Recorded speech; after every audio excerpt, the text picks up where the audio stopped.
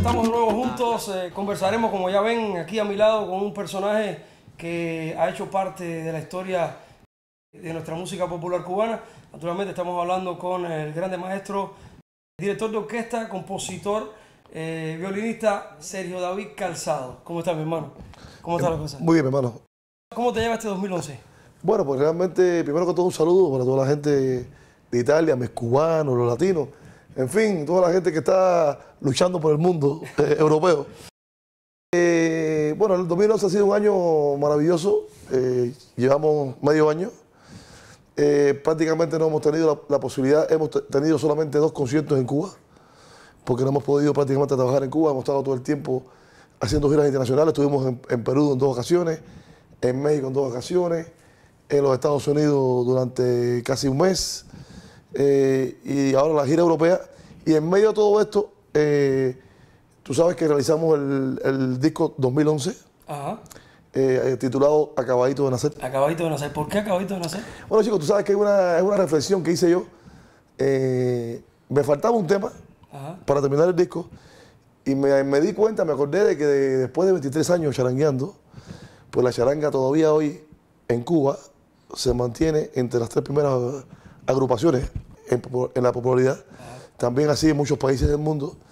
Y dije, bueno, después de 23 años puedo decir que todavía seguimos como nuevos. Acabadito de nacer. Estamos acabaditos de nacer, la gente todavía nos quiere como si la orquesta hubiera, hubiera triunfado hace un año. Llegar es algo muy difícil, llegar y triunfar es algo muy difícil. Pero ya después que tú logras eso, hay algo que es más, aún más difícil, que es mantenerse. Mantenerse. Y fíjate que yo eh, tengo siempre como meta Sí. Es seguir siempre el camino de Bambán. En cuanto a eso de mantenerse, ¿no? Que ha sido una orquesta que se ha mantenido durante 40 años. Y es dificilísimo hacerlo. Y bueno, yo llevo, eh, ya, ya estoy en los 23. Y fíjate que han, han existido muchas agrupaciones en Cuba que han sido famosas, que han sido importantes, que todavía siguen siendo importantes desde el punto de vista artístico, pero que han perdido ya su, po- su Su popularidad. popularidad, sí. Y sin embargo, la charanga Galera sigue compitiendo, incluso compitiendo con la timba, en un- con- que es un género que en estos momentos no está en su mejor momento.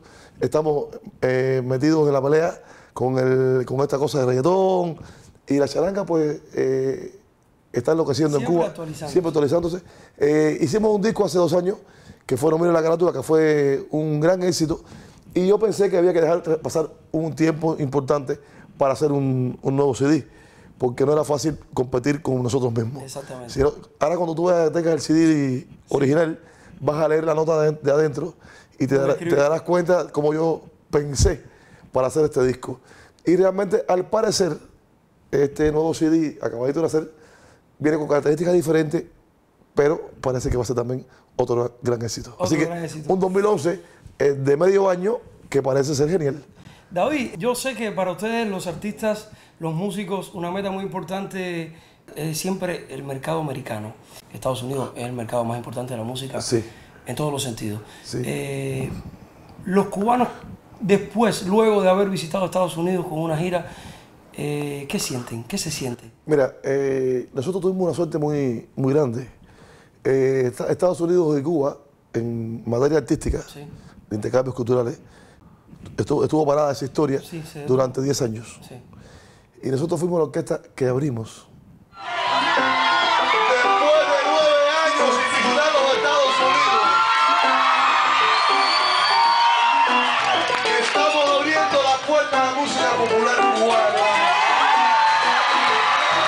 El año 2009, diciembre del 2009, fuimos la primera agrupación de música bailable Que regresó a los Estados que Unidos regresó a los Estados Unidos sí, a hacer una tournée. a hacer una tournée.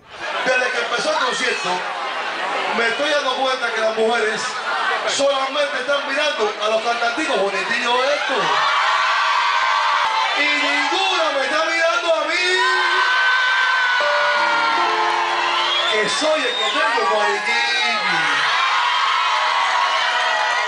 Imagínate tú qué expectativa teníamos nosotros, qué expectativa tenían la gente, el público en los Estados Unidos, de, después de 10 años con orquesta cubana no entraba. Y no te puedo decir, eso yo creo que es irrepetible. Mami, cuando tú vayas a comprarme a mí, no mires la carátula. Ay, primero escucha mi CD.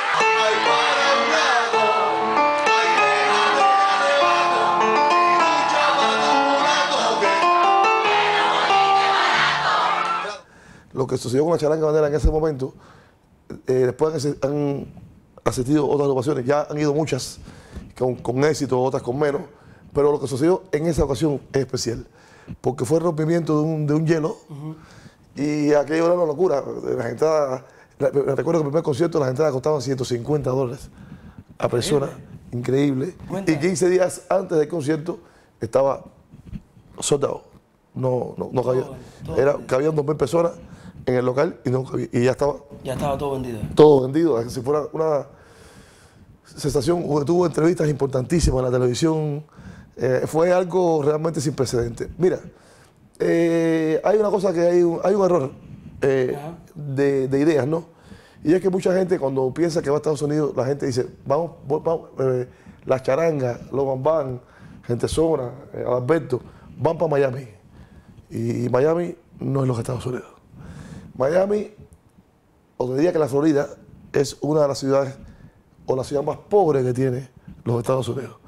Entonces, eh, el cubano, por eso de que hay tantos cubanos en, en Miami, cuando va a, a- a Estados Unidos y llega a Miami y tiene mucho público, piensa que ya triunfó en Estados Unidos. Ya. Y eso es un gran error. Es decir, eh, eh, es un gran error. Entonces nosotros, por ejemplo, ya hemos sido la única agrupación que hemos asistido tres veces. Ya tenemos una tournée en el 2009, una tournée en el 2010 y una tournée en el 2011. Son, es, es la única agrupación cubana que ha logrado hacer Sí, esto. porque yo creo que eh, en el 99, en ocasión del eh, premio Grammy ganado por los Bambam, por Juan Formel, bueno, hace ya más de 10 años, Sí. lo visitaron, creo, ¿no? Estuvieron Ellos, por allá. yo creo que sí visitaron, pero, luego no estamos hablando 10 años después. 10 años después, Sí, exacto. es la única agrupación que 10 años o sea, después una década después, hemos, hemos regresado tres veces tres veces, increíble. Eh, y además te diría que fue el 2010, pero 2010 fue el 2009, pero fue en diciembre. Y nos fuimos de allí en, en el 2011. En el mismo 2011 repetimos y, y ahora en, el, en este año, ajá, en el 2009, en el 10 repetimos y en el 11 eh, hemos... Y tuvimos una cosa muy interesante que ya siempre hacemos conciertos en Miami con muchísimo éxito, la gente nos quiere muchísimo, pero ya eh, en esta gira pasada pues estuvimos Los Ángeles, San Francisco, Nueva York, dos conciertos, Washington, Kentucky, bueno. eh, eh, es decir, hicimos una gira más interesante, hicimos un concierto en un lugar que se llama Conga Rooms de Los Ángeles, donde difícilmente toque algún grupo cubano. El único que ha tocado en este Conga Room de ahora fueron los Bambán, porque es una orquesta que tiene una tradición tremenda y una historia, una historia que no la puede, no la puede tapar nadie. Claro, sí, sí, sí. Y entonces nosotros logramos tocar y, y con cierta incertidumbre de los eh, dueños, que los dueños son personalidades importantes, que, ¿para qué decirte? Y, bueno, tenían dudas de que la charanga tocar allí, porque sí, eh, ya entraron en YouTube, entraron en todo Facebook y vieron que hay una información de charanga muy grande, pero no sabía si la charanga tenía el calibre. Como, y bueno, gracias a Dios, fue, concierto Un para, eh, el tipo decía, decían ellos que por lo menos teníamos que tener 600 entradas vendidas para, para que, un lugar que cabe 1.500 personas, pero un lugar muy, muy light, muy nice. Sí, sí, sí, sí, sí. sí. Y bueno, a las 6, a las 5 de la tarde de ese día teníamos 700 entradas vendidas eh, ya. Y cuando llegamos al local, Ya el hombre estaba... la cola era inmensa y, y, bueno, el- el- se repletó completo. Y lo más simpático fue que cuando estábamos haciendo conciertos, yo digo, bueno, yo están mis cubanos, y muchos cubanos cantaron los manes, ¿no? Y yo están mis mi, norteamericanos, entonces, ah, y alguien me dijo, gente de Perú aquí. Y yo, ¿y dónde están mis peruanos? Y te puedo decir que habían, habían, Perú muy habían 500 peruanos. Dime tú.